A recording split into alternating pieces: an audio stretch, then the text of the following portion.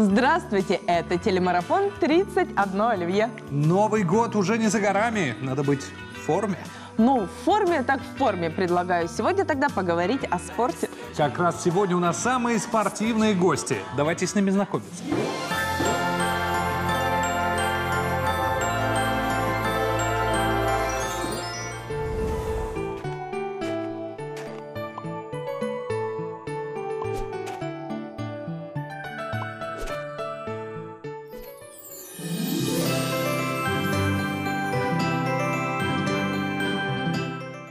Итак, в нашей студии министр спорта Камчатского края Константин Хмелевский и наша землячка, спортсменка, чемпионка мира по рукопашному бою Наталья Сафаронова. Здравствуйте. Здравствуйте. Здравствуйте. Спорт – тема обширная, говорить о ней можно много. Сегодня будем подводить итоги, будем планировать. А, Но прежде о наступлении главного праздника страны. Как ваше настроение? У меня супер, Уже готовитесь? Чувствуете эту атмосферу новогоднюю? Конечно.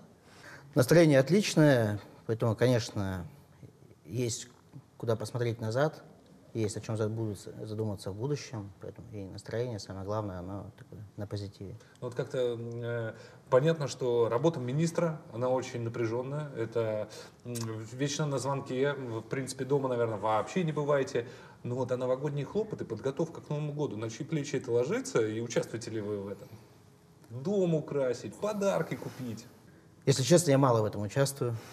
Вот. Я больше, наверное, к организации, а куда поехать э, в новогодние праздники, то есть где провести это время. Ну, жизнь спо- спортсмена тоже с определенным ритмом. И иногда даже не до Нового года. Но, Наталья, у вас будет в этом году Новый год и новогодние хлопоты? Я надеюсь, что будет, потому что главные старты уже позади.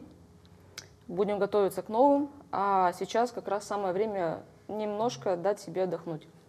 Отлично. Но прежде чем мы перейдем к серьезным темам, а, предлагаем посмотреть наш традиционный календарь. Он расскажет нам о том, какой сегодня день.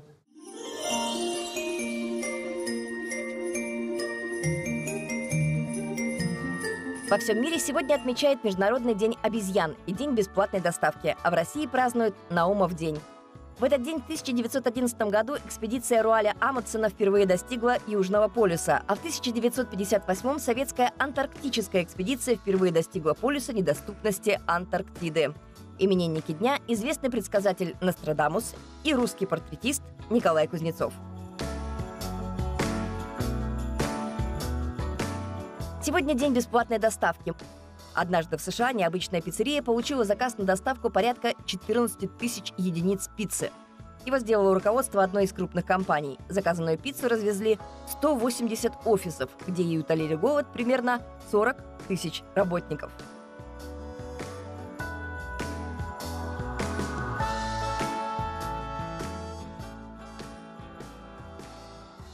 В этот день в 1943 году Политбюро утвердило государственный гимн СССР. Уже в ближайшую новогоднюю ночь советские граждане впервые услышали «Союз нерушимый республик свободных». Сейчас текст иной, а вот музыка та же, композитора Александра Александрова.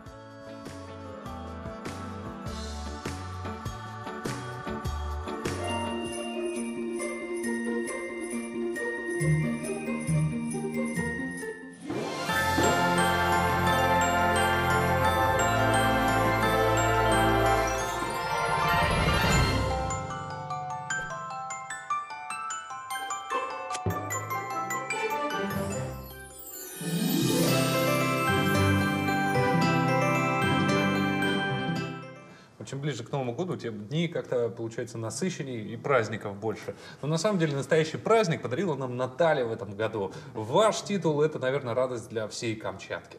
Расскажите о том, как это было. А, Это было очень волнительно. Это был, пожалуй, самый трудный старт из всех моих соревнований, так как подготовка была очень серьезная.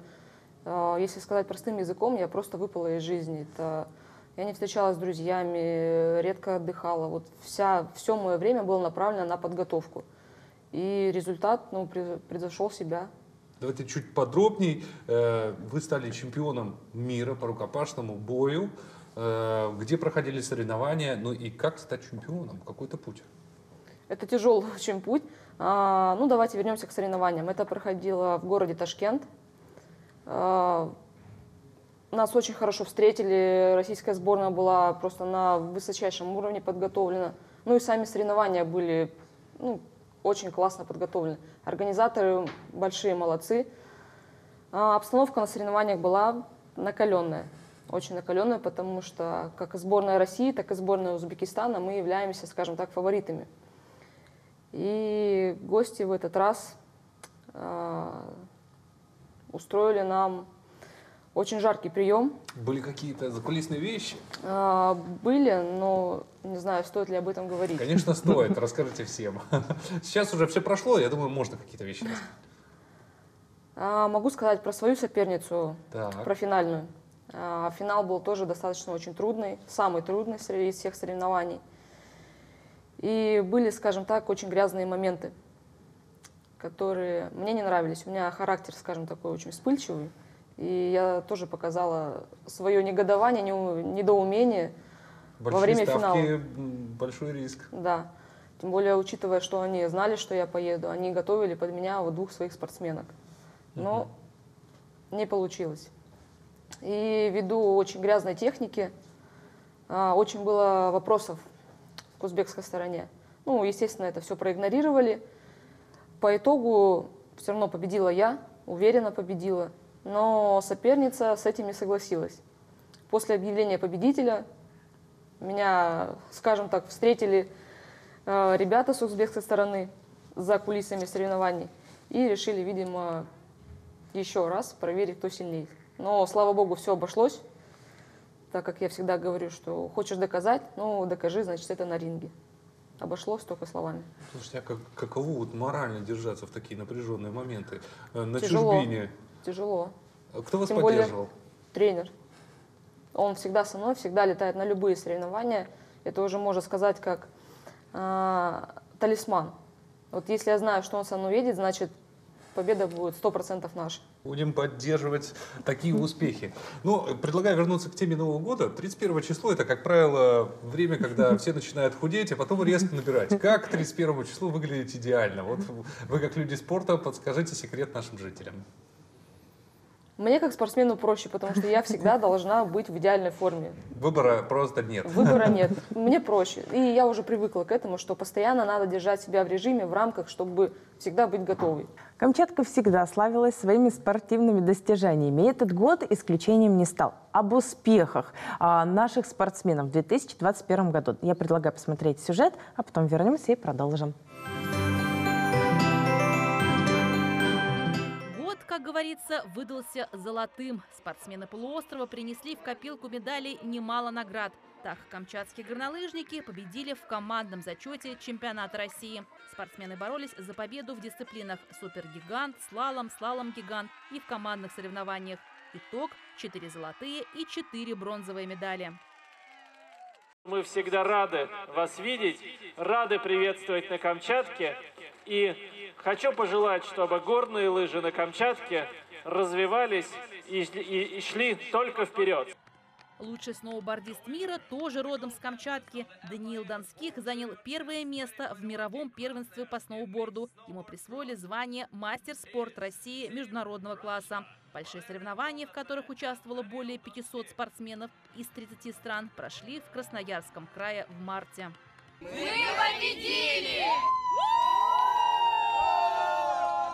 Команда школьников из Камчатского края «Дети гор» второй год подряд одержала победу в межрегиональных соревнованиях «Школа безопасности». В этом году состязания прошли в Чите. В течение пяти дней ребята со всего Дальневосточного федерального округа боролись за звание лучших. Самый легкий этап это, наверное, были узлы, а самый сложный маршрут выживания. В июне этого года домой с большой победой вернулись и камчатские футболистки из детского клуба «Камчедалочка». Они взяли золото на всероссийских соревнованиях. Это первая команда девочек с Дальнего Востока, добившаяся такого результата. Мне еще с детства нравился футбол, и я решила им пойти заниматься. А занимаюсь я второй год уже. Я хочу играть за сборную России, женскую. Чемпион России по боевому самбу в марте и чемпион мира в ноябре. В этом году уроженец Чечни шейх Мансур Хабибулаев выиграл две золотые медали. Одну из высших наград он завоевал на 34-м международном турнире по боевому самбо памяти Виталия Гордеева, который проходил в начале августа в Киргизии. В ноябре с очередной победой камчатский спортсмен вернулся из Ташкента, где прошел 46-й чемпионат мира по самбо и боевому самбо. Шейх Мансур победил в пяти поединках, выиграв титул чемпиона мира в третий раз подряд. По-любому надо было побеждать. Мы готовились к этому, шли. И как бы на ошибку мы не имели права. Вот, так как сильно готовились к этому. Всего на данный момент камчатскими спортсменами завоевано 525 медалей в межрегиональных, всероссийских и международных соревнованиях по 26 видам спорта. Константин Валерьевич, ну, посмотрели сюжет. Гордитесь успехами наших спортсменов. Может, какие-то хотите выделить особо? Конечно, гордимся успехами. Э, в этом году у нас 581 э, медаль э, российских, международного уровня, и есть чем гордиться по сравнению и с прошлым годом. И, конечно же, мы гордимся Натальей, не могу это сказать, она рядом сидит. Благодарю. Да, чемпион Стараемся. мира по рукопашному бою.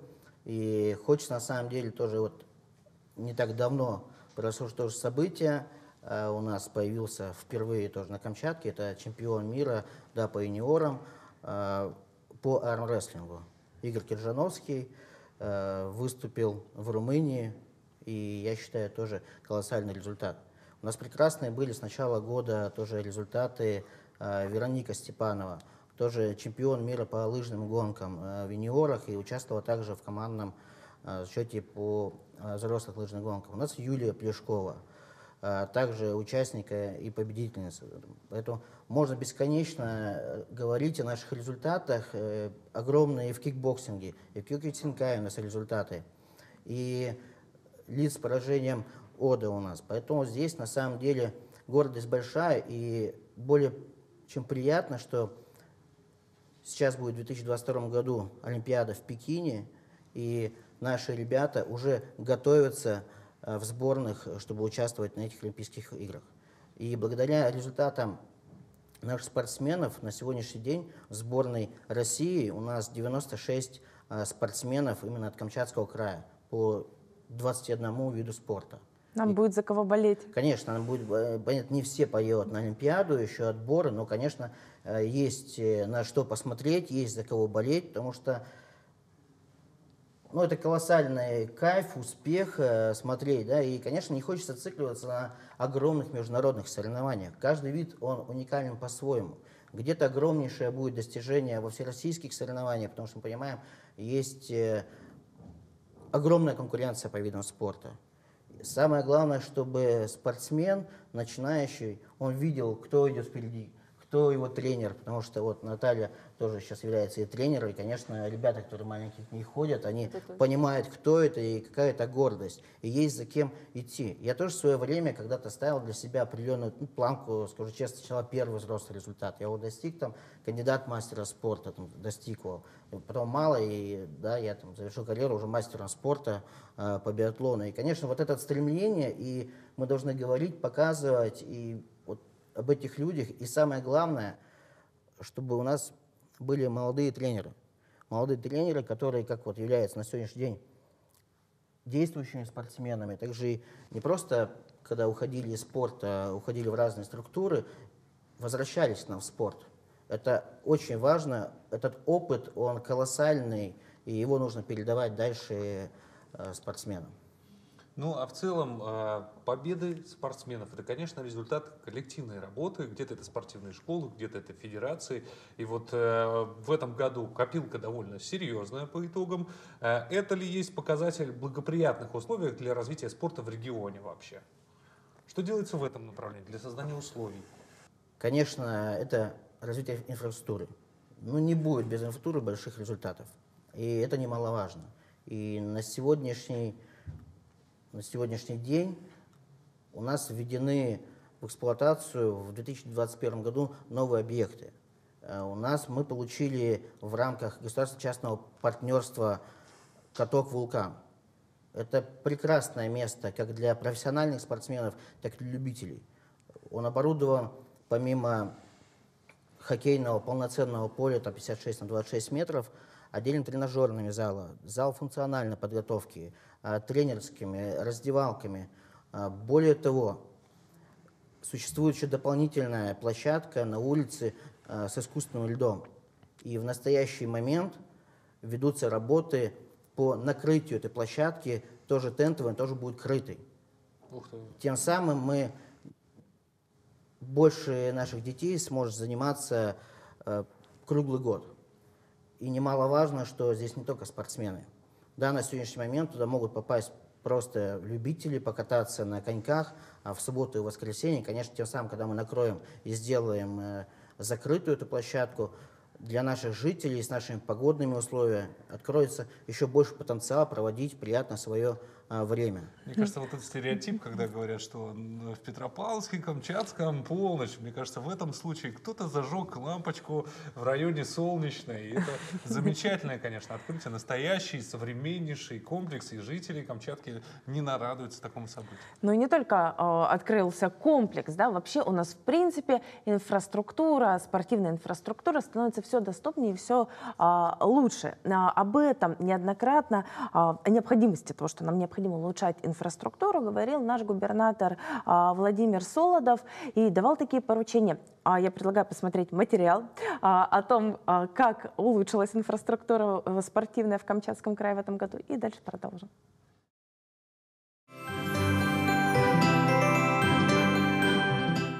В этом году на Камчатке продолжилось активное развитие спортивной инфраструктуры. Первым событием 2021 в этой сфере стало открытие ледовой арены «Вулкан». Комплекс запустили в феврале. Здесь есть не только каток, но и помещение для тренировки хоккеистов, оборудованные современным покрытием. Синтетическое покрытие, оно немного не такое скольжение, как на гладком льду, но есть сопротивление, да, и с этим сопротивлением ребята как бы стараются выполнить правильно броски, и на льду у них э, получается легче и уже правильно. Погодные условия нам не позволяли всегда заниматься на льду. И вот у нас были такие проблемы. Да. Сейчас вот с этим сооружением стало намного легче, да, и интереснее, и ребятам нравится. Ну и ждем дальнейших результатов. Еще в этом году заработал спортивно-тренировочный центр у подножия Авачинского вулкана, где в июне и июле занимались воспитанники спортивных школ, а в августе прошли соревнования в рамках школы юного вулканолога. Также на Камчатке отремонтировали и построили множество небольших спортивных объектов во дворах и при школах, все в рамках государственного курса на развитие дворового спорта. Одна из таких площадок появилась при Елизовской вечерней школе. Здесь есть многофункциональное игровое поле, тренажеры и снаряды, а также полоса препятствий. На эту спортивную площадку могут приходить жители ближайших домов. Это очень важно, потому что мы говорим опять про качество жизни. Сегодня вечером любой житель может прийти сюда, позаниматься на тренажерах, поиграть и вечер провести достаточно хорошо и спортивно. Мы понимаем, что сегодня это важная составляющая для организации досуга и занятия наших детей. Именно спорт сегодня формирует характер и дает такую цель в жизни, куда можно стремиться в спортивных секциях занимаясь, можно стремиться дальше и развивать в том числе свои спортивные навыки. А спортивный парк «Спартак», построенный в прошлом году, этим летом окончательно закрепил за собой статус новой точки притяжения для жителей краевой столицы. Горожане облюбовали тренажеры, снаряды и беговые дорожки. В любую погоду на площадках парка много людей. Кроме того, на главном стадионе края впервые за несколько десятилетий прошли соревнования по футболу межрегионального уровня. Сейчас Большое поле «Спартака» готовится сертифицировать согласно требованиям Российского футбольного союза. Для этого его нужно обнести ограждением. Осталось разработать проект, который устроит всех. Я, например, там футбол в последнее время не играю, я бегаю. Мне комфортно бегать без заборов, тоже, чтобы можно было по, по, по стадиону побегать, потом по большому этому, потом вокруг Полтучного озера. И вот как-то, чтобы и эта возможность сохранялась, но при этом требования аттестационные, конечно, были соблюдены, и у нас ни в коем случае ребята не потеряли возможность соревнования проводить на этом ключевом объекте. Наконец, самый долгожданный объект – новый физкультурно-оздоровительный комплекс «Водник» в южной части Петропавловска. Примечательно, что теперь у жителей Ленинского района появится свой бассейн. Раньше на занятия по плаванию приходилось ездить через весь город. Чаши бассейна отделывают инновационным материалом. Это сложный полимер, который будет обеспечивать э, как герметичность, так и эстетический вид, так и очень хорошие эксплуатационные э, характеристики, как по, должным, по долговечности и стойкости к ультрафиолетовому излучению, химическим различным веществам. В наступающем году на Камчатке продолжится работа по возведению новых спортивных сооружений, ведь для многих жителей полуострова спорт – норма жизни. Александр Косматов, Лейсан Латыпова, Евгения Пылева, Антон Дутов, Антон Скрипаченко и Алексей Кузьмин.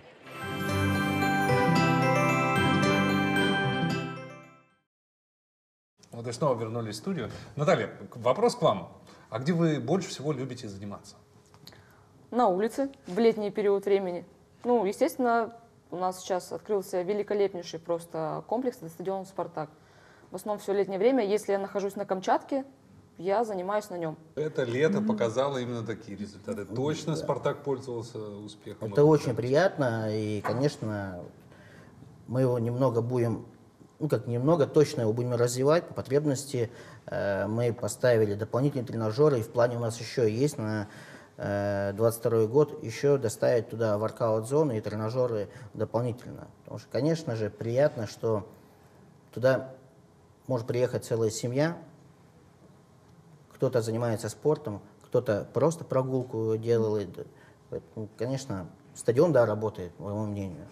А я хочу еще поговорить про один долгожданный объект. ФОК-водник.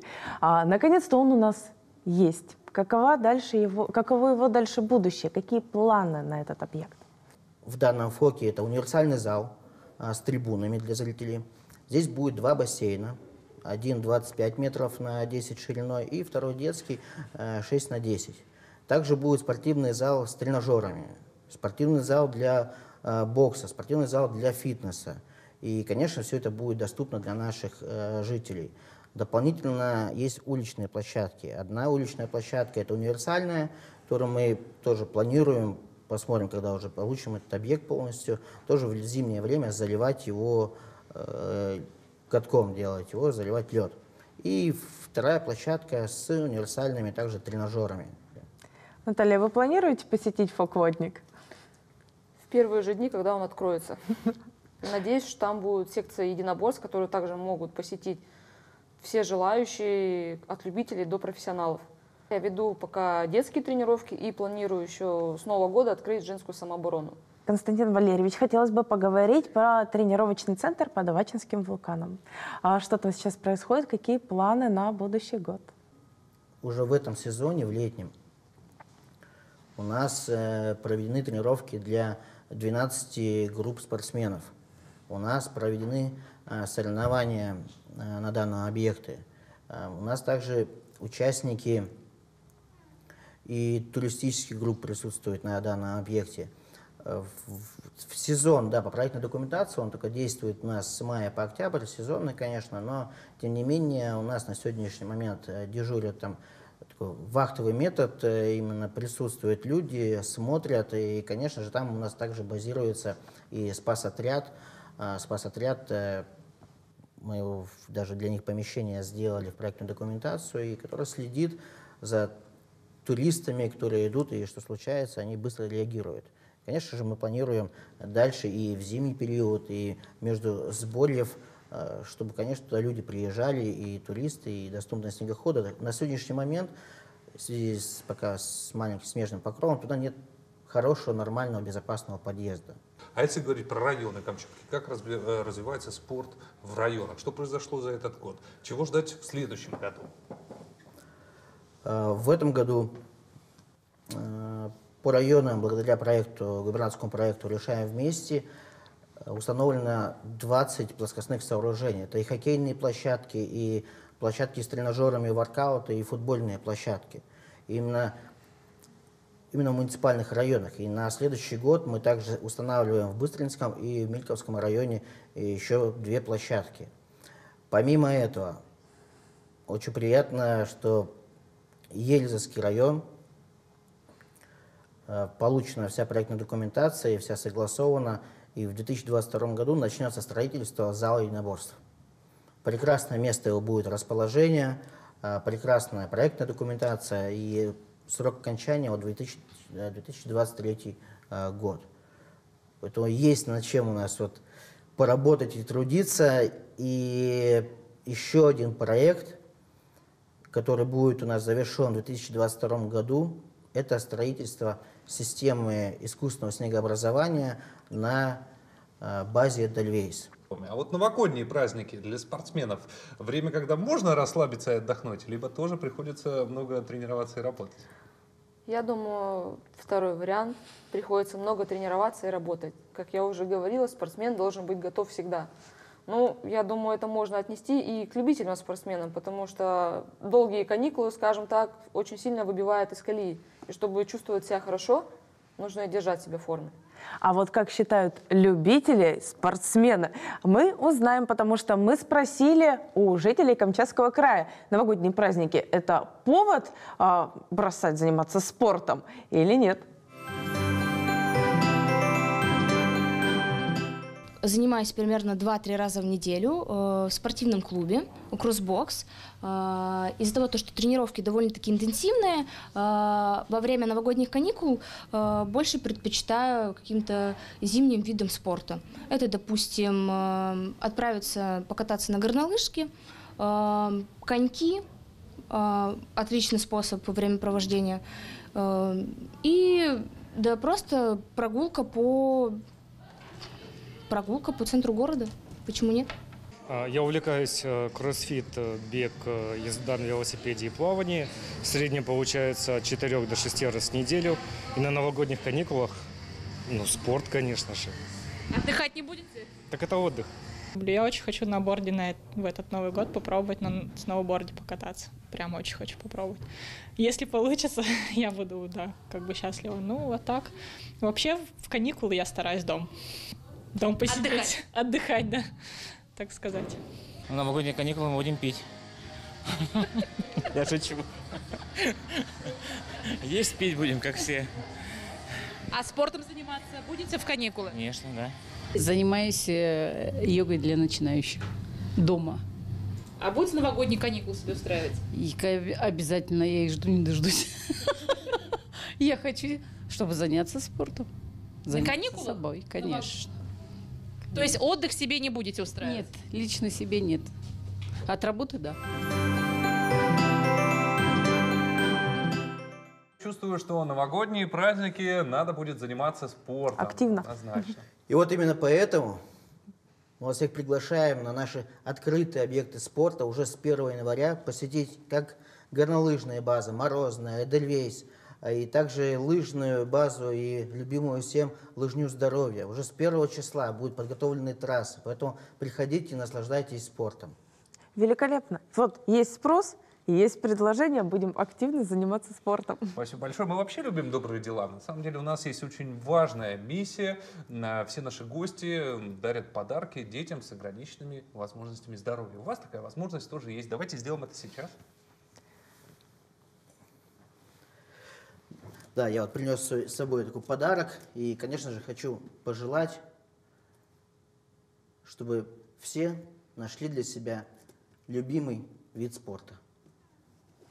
Мы обязательно передадим этот подарок а, его будущему обладателю. А, и надеемся, что, конечно, он принесет ему радость, счастье. И я так понимаю, что еще немножечко спорта в его жизнь тоже принесет. А у нас а у нас часть. поход на кухню, друзья. Отправляемся именно туда. Ну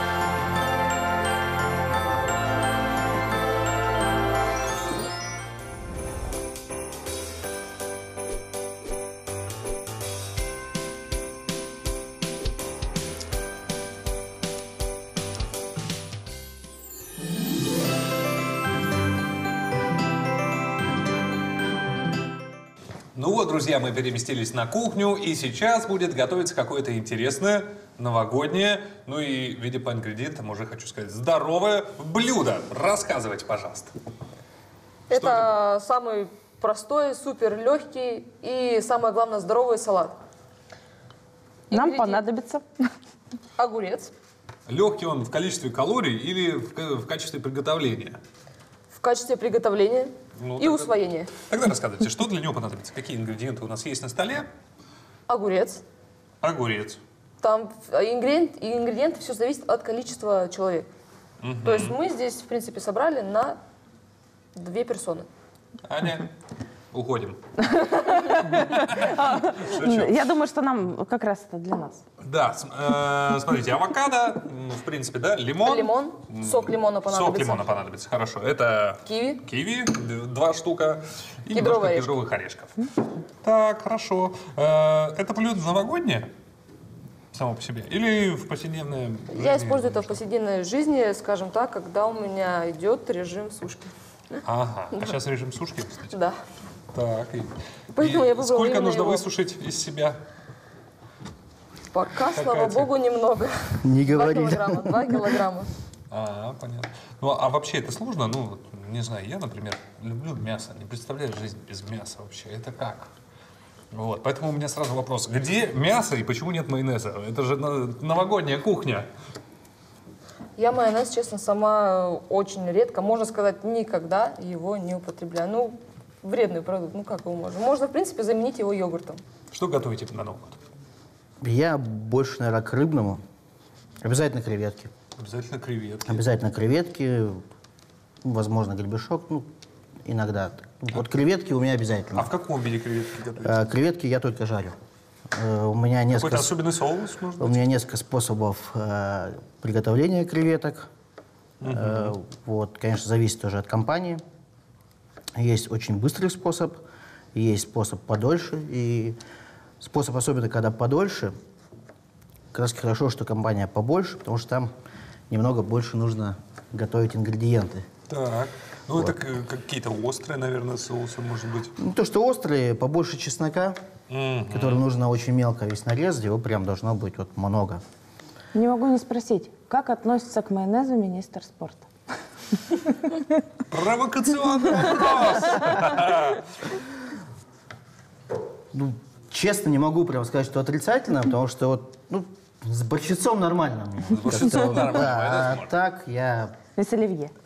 с- я сам к оливье, ну, более думаю, да, один раз в год можно, на самом деле, поесть вот салатов, вот этих вот там, э, где много У меня так семья постоянно. вот от всего тогда, ну, потому что мы, знаете, наверное, на это и есть там праздник, Новый год, что вот нужно немного дать себе послабление, нельзя же постоянно себя там огр- ограничивать Ну, там, всю жизнь. Чтобы потом в январе как следует снова по спорту пойти там на каток, э, собраться на лыжне России с друзьями. вот, верно. Пробежать каких-нибудь 5, а то и 10 км на свежем воздухе. Вообще очень приятно. Наталья, а для вас там праздник Миленький. Новый год да? вообще семейный? Да, мы, у нас традиция... Большая у вас семья? Да, большая. У меня три сестры. Ух Средняя сестра живет в Владивостоке, но мы периодически созваниваемся, то есть связь, конечно, поддерживаем. А здесь, на Камчатке, мы привыкли собираться семьей, то есть э, мама с папой, старшая сестра и ее семья. У нас, так, скажем так, такой небольшой семейный круг. Так, есть ли какие-нибудь там традиции новогодние? Вы что-то делаете особенное на Новый год? Может, маскарад? Дед Мороз приходит. Ну, а вдруг там делаете бросок через ну? Так обычно я делаю, мне не разрешают так делать. Традиция, ну, не знаю, вот то, что мы уже собираемся семьей, э, это уже для нас традиция, потому что, ну, не каждый же так поступает. Обычно своими маленькими семьями все собираются, а мы привыкли всей семьей собираться.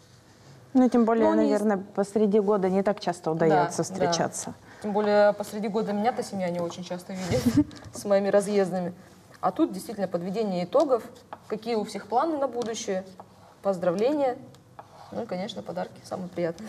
Ну, кстати, вот э, у вас такой благодатный э, этот год. Вот, наверное, в этом году можно будет особенно похвастаться, погордиться друг за друга. Поддержит вообще семья вас? Конечно. Меня поддерживают друзья, в особенности мама. Это, скажем так, главный мой мотиватор. Мгм. И главный, скажем так, дети. Хотя, если честно сказать, поначалу моя семья была против вот О, вот это вот- вообще интересная история. Вы как оказались в, рукопашном спорте вообще? Кто тот человек? Кто-то человек, точнее, что за деятельность подвигла меня к этому. Я с, по- с поселка, с поселка Авача. И в мое детство у нас не так было много, скажем так, каких-нибудь э, досуговых мероприятий. И у меня стал выбор между нашими коренными корякскими танцами, либо рукопашкой. Ну, выбор пал... В более брутальное направление. Так. Были первые мои соревнования, которые я проиграла. Это для меня был такой удар, хотя мне там было, наверное, лет 7. Угу. Но меня это так, э, скажем так, взбодрило. Я себе сказала, не хочу я больше проигрывать, хочу, хочу побеждать. Ну, так серьезно вы себе да, заявили. Да. Я хочу сказать, что сегодня с чемпионом мира на кухне готовим киви, салатик новогодний. Это очень здорово. Э, а у вас как проходят новогодние праздники? Наверное, на лыжах. А вот. Про лыжи. Один раз, кстати, был Новый год на лыжах. Мы собрались спортсмены, это когда мы еще занимались. э, Это было лет 25, наверное, назад. Мы решили пойти на фейерверк, на елку, на лыжах. Ух ты! В центр Да, города. В центр города. Это было... Встретились мы с друзьями на северо-востоке и оттуда пошли. Ну, честно, полпути выдержали, была пурга. И еще- в те времена погодку. не было такой доступности транспортной. Конечно, мы приняли правильное решение вернуться. Мне кажется, это вообще отличная идея в Новый год э, дойти на лыжах до елки. Это, в принципе, как ельзовский спринт, который проходит по городу. Хорошая идея для мероприятия. Новогодняя лыжня. Главное, чтобы был снег, а не по асфальту идти. То не очень хорошо получится. Мне кажется, мы готовы к чему-то. Миксовать. Чему-то. Все соединяем. Я так понимаю, что это очень ППшное здоровое блюдо. Да. Много витаминов, много Я хочу полезного. отметить самое главное, что оно очень быстро готовится. Мы уже Да? почти все закончили. Можно добавить две ложечки орешек. Мгм. Можно еще чуть-чуть. И никакого майонеза. И никакого майонеза, однозначно. Так. Вдавливаем сок. А теперь внимание. Я так и знала, что это будет делать Наталья. Ну, вот, кстати, лыжное братство. Вот вы с теми людьми, с которыми катались так давно, вы дружите, поддерживаете связь вообще? Лыжное, да. Мало уже общаемся, но, конечно, большинство в, соцсетях, потому что многие, конечно, уехали с Камчатки, с кем мы занимались, с кем у нас вот была команда, эстафетная команда, которую мы практически все выигрывали в России, нашей эстафетной. Никого на Камчатке, кроме меня, из этой команды нет. И, конечно, мы общаемся, списываемся в таком виде, конечно, благодаря все-таки цифровизации, интернету. Последние Ну, годы больше стали общаться. Сейчас удобно, до позвонил, этого. по видео посмотрел, Конечно, привет да. передал, с Новым годом поздравил. Вот. А, кстати, вы куда звоните, когда наступает 12 часов и бьют куранты? Я звоню во Владивосток сестре. В центральную часть у нас а, в Ульяновске есть еще родственники, в Москве родственники. Все, конечно, созваниваемся, когда у нас Новый год, когда у них Новый год. И все радуемся. Есть, кстати, еще родственники в Японии. В Японии? Да. В Японию звоните? Списываемся. Списывайтесь. Ну и правильно. Ну, кстати, что я хочу сказать? Осталось только, по-моему, перемешать, да? Давайте ложки. Перемешать? Можно ложечку? Ложечка есть. А еще у нас есть секретный ингредиент. А что это такое? Майонез, А это- наконец-то. Это же секретный ингредиент. Никто не узнает. А это у нас оливковое масло. Можно добавить тоже ложечку. Одну, полторы на вкус. И все перемешиваем. И это действительно легкий и супер полезный салат. Мне кажется, это настоящая находка для каждой хозяйки, причем не только на Новый год, но и на каждый день, потому что пять минут он готов. И не надо после него ходить в спортзал. Нет, в спортзал, наверное, все-таки надо ходить. Да, но, но после него нет. после него нет. Давайте пробовать. Давайте пробовать. Начинайте. Девушка вперед. Ну, первое. Очень Достаточно вкусно. ППшно? Да. Давайте, давайте там ближе. Да, попробуем все-таки. Это достаточно ППшно. Точно заберу себе А на то мы тут с телевидения что-то готовим, а сами как будто не пробуем. Вдруг не настоящее все пластиковое. Пластиковые авокадо. М. Хрустит великолепно. Вам как? Прекрасное сочетание. Огурец, авокадо, киви. Очень необычное и освежающее. Прям по-тропически, я бы сказал. Поэтому, друзья, собирайте рецепт себе в копилку. Мы ее тоже себе заберем. И обязательно будем готовить на новогодние праздники, например. А нашим гостям спасибо, и мы отправляемся дальше.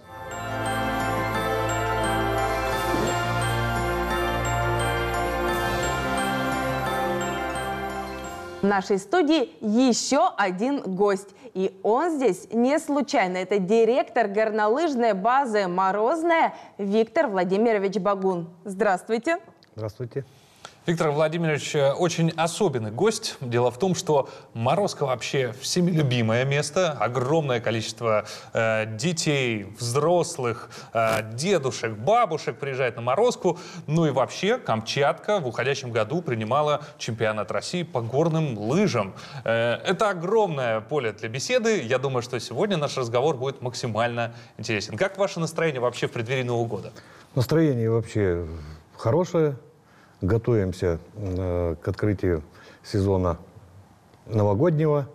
Э, да, чемпионат России прошел. У нас э, в этом уходящем году прошел на очень высоком уровне, но на этом мы не останавливаемся.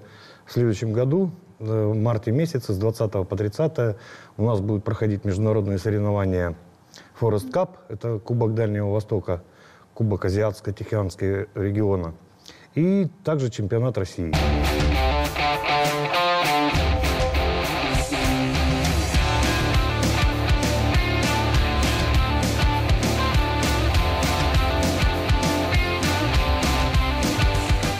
Сначала на год, а потом на после обеда. Чемпионат России по горнолыжному спорту пришлось переносить дважды. Провести соревнования сначала помешала пандемия, а в день запланированного старта соревнований еще и туман с дождем.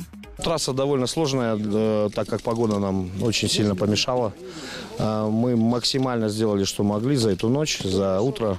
Первая дисциплина соревнований – супергигант. У него самая длинная трасса, которая начинается с вершины горы Морозной. Здесь важно показать хорошую скорость. Так наоборот солнце вышло. Его же не было вчера.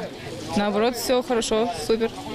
Лучшими в супергиганте стали два камчатских спортсмена – Иван Кузнецов и Юлия Плешкова. Как всегда, хорошая организация. Всем спасибо, всем хорошего настроения. Еще увидимся. Второй день чемпионата отменяют из-за пурги. Программу стартов меняют. В третий день соревнований дисциплина слалом. Длина трассы здесь всего 500 метров. Именно эту дисциплину нужно очень много тренировать, чтобы быть очень точным и быстрым во всех своих движениях. Победителями в этой дисциплине стали камчатский лыжник Александр Хорошилов, выступавший за Московскую область, и Анастасия Горностаева, также выступающая за Москву. Где-то под коркой еще осталось э, те, сколько, почти 15 лет тренировок в детстве здесь, поэтому я себя чувствовал вообще спокойно. Четвертый день чемпионата, выпавший на субботу, снова выдался солнечным. Дисциплина этого дня – слалом-гигант. Лучший результат снова показал камчатский горнолыжник Никита Алехин. Среди девушек золото взяла Екатерина Ткаченко. Второй заезд был, э, ну я понимал, что будет сложнее, тяжелее, потому что трасса после 30 человек уже разбита, что надо именно уже больше риска, а там как, как пойдет. В заключительный день соревнований приезжим горнолыжникам пришлось познакомиться с Камчатской пургой. Самые зрелищные командные соревнования проходили под мокрый снег и ветер. Э, Решающий заезд. Камчатка синяя, э, красная трасса. Камчатка красная трасса. Последний заезд финала самый напряженный. На трассе встречаются два сильнейших горнолыжника – камчатский чемпион Иван Кузнецов и московский чемпион Александр Хорошилов. По традиции этого чемпионата побеждает команда Камчатки. Чемпионы страны.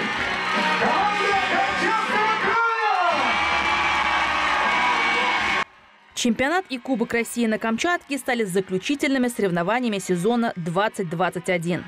Чемпионат, который прошел у нас в этом году. Давайте сначала поговорим о нем, а затем уже о планах на будущее. Чемпионат России у нас прошел уже второй раз. В 2019 году э, мы провели первый чемпионат России. Э, В 2020 году мы готовы были тоже провести соревнования такого же ранга, но, к сожалению, помешала у нас пандемия, и соревнования буквально перед началом отменили. Вот, и мы готовы встретить э, соревнования вот, э, будущие, которые у нас пройдут, ну, гораздо более подготовленно. Э, А Опыт, то, что уже такой чемпионат проходил, помог в организации в этом году? Конечно, конечно. С каждым годом у нас получается все лучше. Организация соревнований все становится более высокой, учитывая все недочеты, которые у нас были допущены, хотя это минимальное количество было таких недочетов. Соревнования вообще оценили федерация, международная федерация тоже очень на высоком уровне. И поэтому нам позволяет сейчас э, провести здесь международные соревнования такого уровня. Ну, вообще говоря, подобного рода соревнованиям это всегда большое количество приезжих спортсменов. Как они оценивают Камчатку? Как они оценивают э, нашу инфраструктуру? Спортивную в том числе, конечно. Э, Спортсмены очень хотят сюда приехать, э, тем более э, перед этим соревнования у нас проводятся на Сахалине, в нашем регионе, и перелет сюда им, ну, получается Получи- совер- Удобно получается. удобный да. перелет получается, небольшой э, разница во времени, и они адаптируются быстро, и что позволяет им соревноваться. Ну, также посмотреть нашу камчатскую природу. Судьи также хотят очень посетить Камчатку, среди них там даже устраиваются соревнования. И кто поедет на Камчатку, потому что большое количество судей необходимо. Судьи, обслуживающего персонала, который участвует в проведении соревнований. Таким соревнованиям трассу надо готовить. А, Катаетесь по нашему камчатскому снегу или все-таки по искусственному? Катаемся в основном по искусственному снегу, Почему? тем более во время проведения соревнований. А Я удивлена, потому что я думала, что все, все дело в нашем, в нашем камчатском Ну, вот снегу. про беговые лыжи говорят, что там Камчатка продляет зимний сезон, и поэтому там сюда едут и на натуральном снеге э, катаются. Горные лыжи другая история. Там Почему? больше Да, предпочтения интересно. к искусственному снегу. Горные лыжи – такой специфичный вид спорта. То есть это мы летим с горы на лыжах с большой скоростью, и где нужно поворачивать. Естественный снег э, при больших скоростях, при большом давлении на него, он имеет свойство разбиваться, выбиваться, превращаются ямы, трасса превращается в сплошные ухабы, так скажем. Искусственный снег же не позволяет этого э, делать. Практически одни условия э, для участников, что первый номер, что сотый стартовый номер. То есть равные возможности, чтобы всем обеспечить. Равные да? возможности, и, ну, это и, прежде всего травмоопасность уходит у нас с искусственным снегом. Да, он быстрее, он скольже, на нем сложнее поворачивать. Любителям нашим горных лыж не очень нравится такой снег, потому что ну, заставляет э, активно работать на нем. У тех, у кого лыжи не подготовлены, не точены, сложно повернуть. Ну и падать на, на нем, соответственно, тоже больно. А о каких скоростях вообще идет речь? Сколько Ну, развивает лыжник? Если говорить о скоростях, то самая скоростная дисциплина у нас скоростной спуск, э, который в программе соревнований нет. Э, Супергигант следующий. Ну, в скоростном спуске у нас там, если кто-то смотрит, следит за соревнованием, там у нас скорости, максимальная скорость на участках там достигает 140 км в час.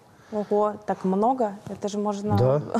Это практически японский автомобиль где-то на хорошей трассе. Причем это на ногах, на двоих ногах. Это, Не страшно? ну, в спорт идут люди, те, кто это не боится. Как оборудуется трасса и кто это делает? Это очень серьезный вопрос вообще по безопасности проведения соревнований. Э, Трассы должны быть огорожены от старта до финиша. Где-то частями опасные участки огораживаются даже тремя рядами сеток. Где-то один ряд, где-то два ряда, где-то три ряда. Самые опасные, соответственно, там три ряда.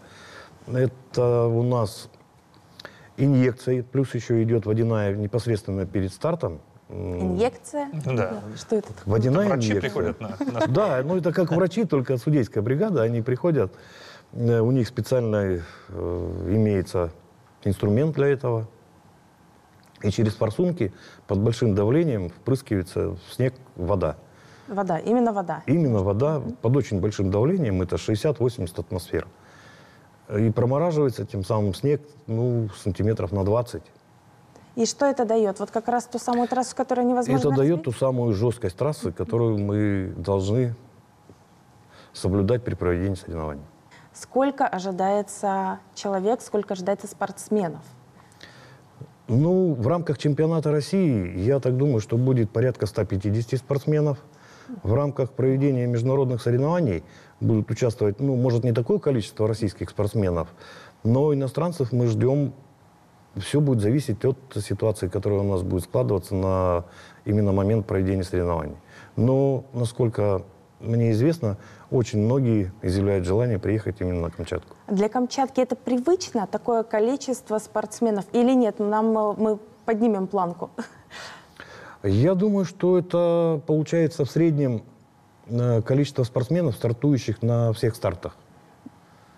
То есть большее количество спортсменов, оно, ну, я думаю, что э, нецелесообразно даже. База Морозная сегодня, наверное, самый популярный спортивный объект, который есть вообще на Камчатке. Потому что ты приезжаешь туда в выходные и видишь сотни и тысячи людей, которые на свежем воздухе проводят время с пользой для души и тела. Поэтому тут сразу возникает вопрос, каких сюрпризов жителям, спортсменам, любителям ждать в этом году, в этом сезоне?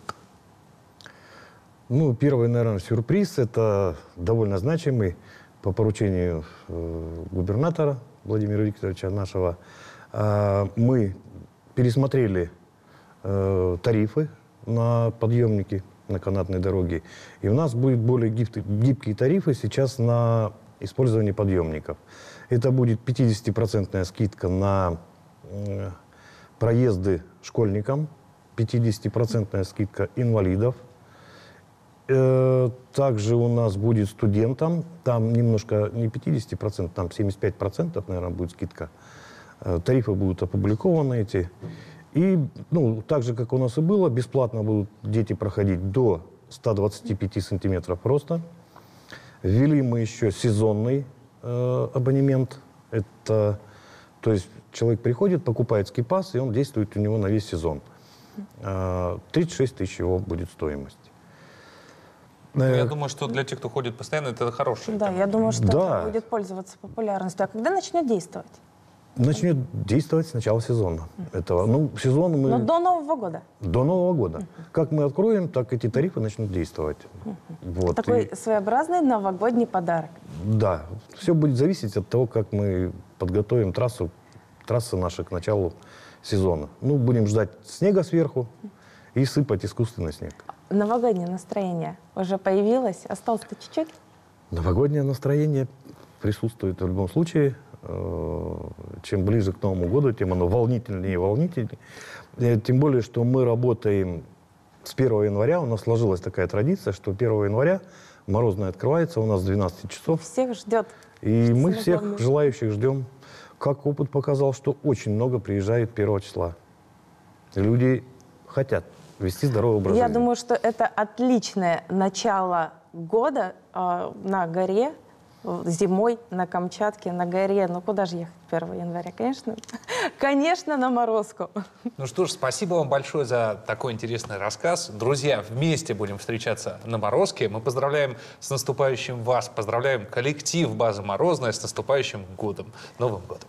И мы Спасибо. желаем, чтобы все задуманные цели, поставленные перед вами, все в этом году осуществились, и планка только повышалась и повышалась с каждым годом. Спасибо, что пришли в нашу студию. Спасибо вам.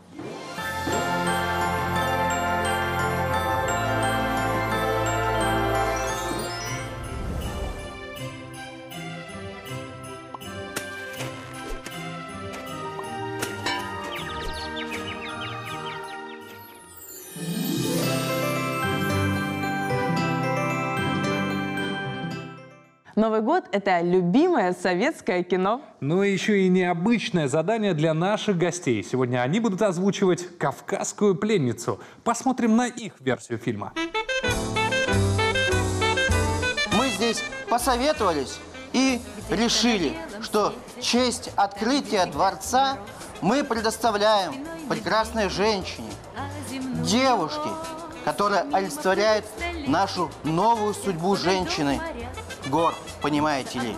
Это студентка, комсомолка, спортсменка и, наконец, она просто красавица. Вот это и есть то маленькое, но ответственное поручение. Прошу вас.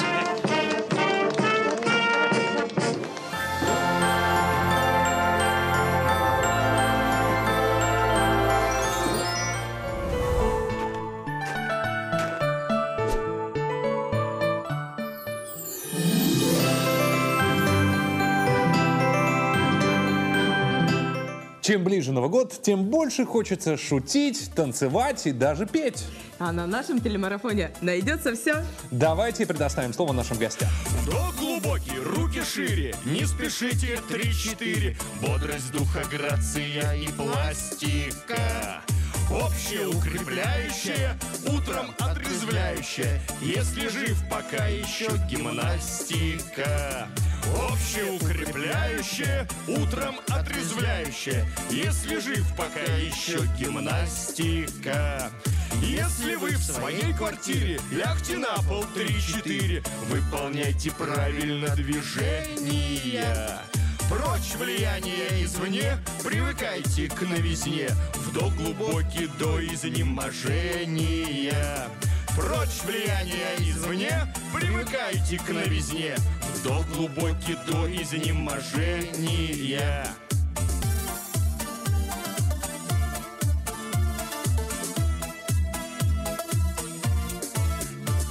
Очень вырос в целом мире Грипповирус 3-4 Ширится, растет заболевание.